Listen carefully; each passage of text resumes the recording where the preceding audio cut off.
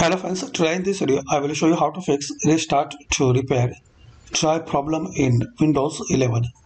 So click on start, open file explorer.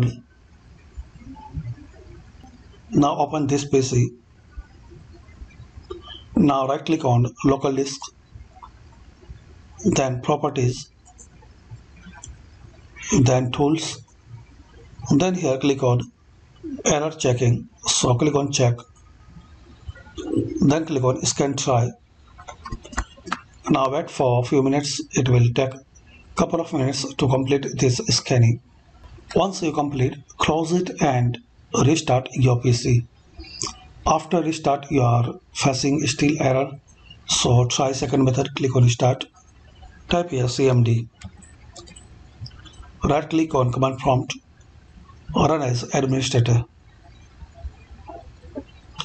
now here type chk dsk space slash f then press enter.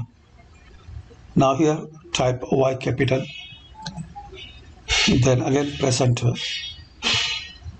This volume will be checked the next time the system restart. Now close it and restart.